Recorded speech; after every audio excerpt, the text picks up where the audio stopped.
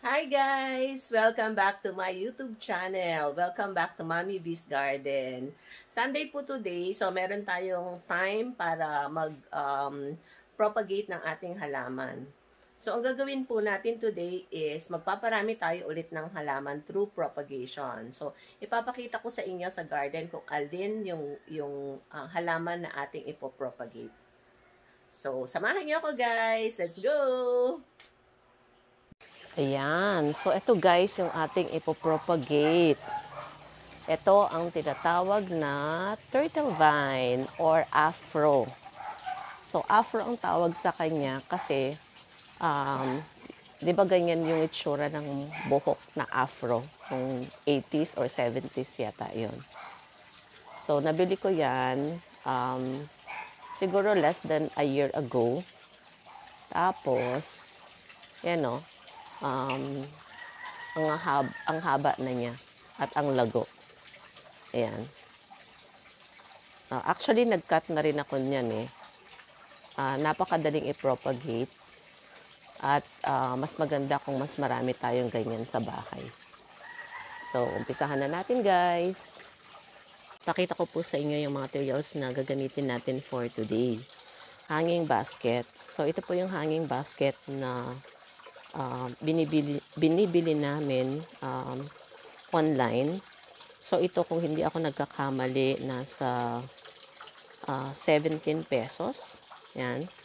Pag binili namin siya, itong panghang niya, tsaka itong basket, magkahiwalay. So, si husband na lang yung naglalagay or nag-assemble.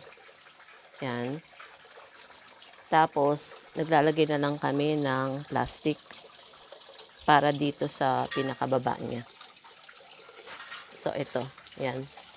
Inalagyan ng plastic na doble. Pwede naman kayong gumamit ng gamit na na plastic.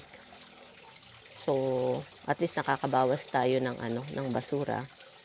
So, garbage um, bag yan na kinakat namin. Yan, ganyan. Tapos, uh, ititrim lang natin yung sobra para mas magandang tignan.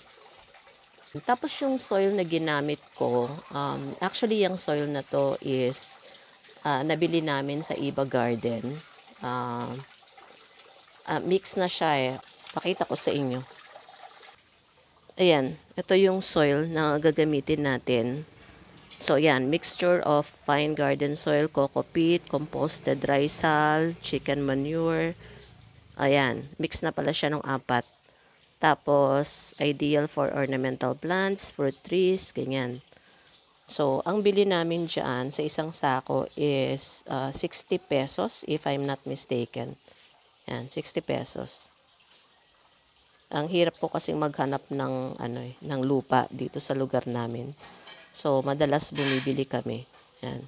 So, 60 pesos pero nasa 10 kilos na yan. So, madami na siyang mapaggagamitan gagamit din po tayo ng gunting kasi magka-cut tayo ng mga uh, ipopropagate natin from the mother plant and uh, gagamit ako ng barbecue stick or pwede rin kayong gumamit ng um, chopsticks kung meron kayong for disposal na chopsticks.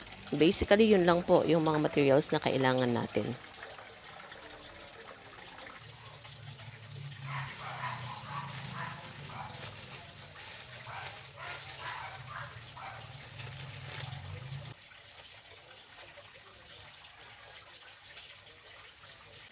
So, pag nalagyan na natin ng plastic tapos lupa, uh, wag naman po yung umaapaw ang lupa.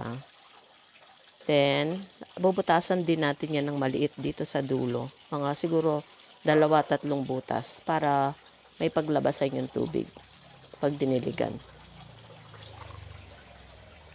Hindi na tayong mag-trim. So, ito yung ating mother plant. Magka-cut na tayo ng mga dulo-dulo. Ito. Yan.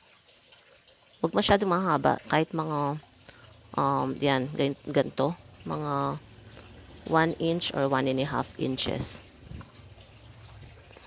Ano? At least napapaganda pa natin yung ating mother plant.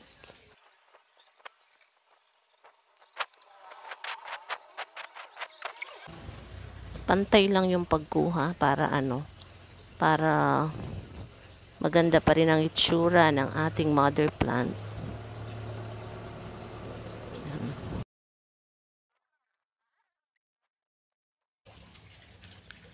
Ayan. So, madami na tayong nakuha.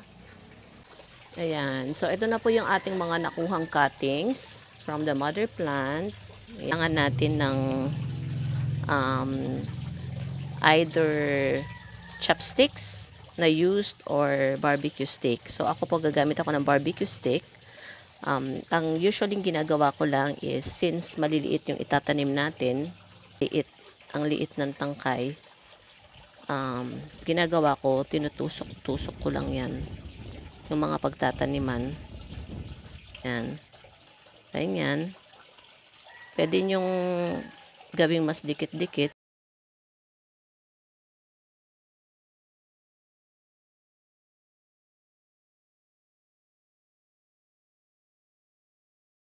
Isusuksok na lang natin yan.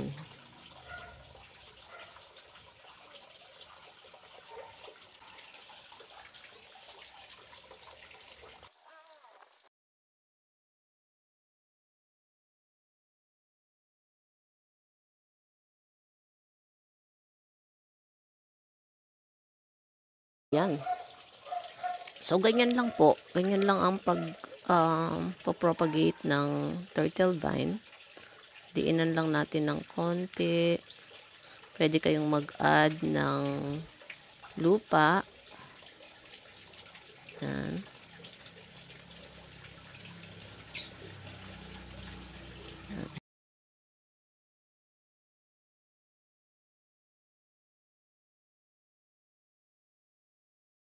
Yung ating mga bagong tanim or bagong propagated na turtle vine. Sinabit ko sila dito sa medyo shaded na area. Yan. So, pwede na natin silang diligan ng konti. Yan. Dilig lang. After mga 2 weeks, tignan natin kung ano yung magiging progress ng ating turtle vine propagation. Isi-share ko sa inyo kung ano yung magiging itsura nila. Pero, um, tulad yung na-mention ko kanina, I think mga 4 days before, nag-try na ako mag-propagate using the same method. Pakita ko po sa inyo ha. Ito, yan. Yan, pinropagate ko using a different planter na nakahang. Yan. Ayan, no. Stable na stable na sila. Bilis. Tapos, yan din. Yan rin po, oh, pinropagate ko nung nakaraang araw lang. Ayan, yung magkasabayan yan. At saka to. And yan. Yan din po. Pinropagate ko uh, 4 days ago. Uh, lumalaki na siya. Tapos ipakita ko na rin yung isa, ito, ito po, nabili ko yan sa ano, sa sa silang, sa Iba Garden. Oh. Ang ganda 'di ba pag madami. So pag yung mga yan lumago na, kagaya niyan, yan, yung mga yan, at kagaya nitong mother plant, tapos sunod-sunod po sila dyan sa area na yan. Yan, mas magandang tignan ng ating garden. Uh, pagdating po sa care tips, tulad nung sinabi ko kanina, napakadaling alagaan ng mga turtle vines. Um, basta po sagana sila sa tubig, huwag niyong pababayaan na nagda-dry. Um, uh, yun po, magsasurvive na sila. At dadami talaga, lalago sila. So, importante na uh, dinidiligan nyo sila at least two times a day. Yan. Yun lang po. Hindi sila maselan. So, ayan guys. Tapos na tayo sa ating um, turtle vine propagation. Um, sana po nagustuhan nyo yung ating video for today. Sana may natutunan kayo. And if you like the video, I hope to give me a thumbs up.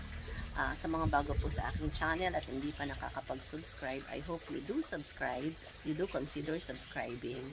Um, at pakipush nyo na rin yung bell notification so that you get updated sa mga iba pang videos na aking i-upload. Abangan po natin ang magiging progress ng ating mga newly propagated turtle vines. Again, thank you for watching guys. Have a blessed Sunday. Stay safe. Bye.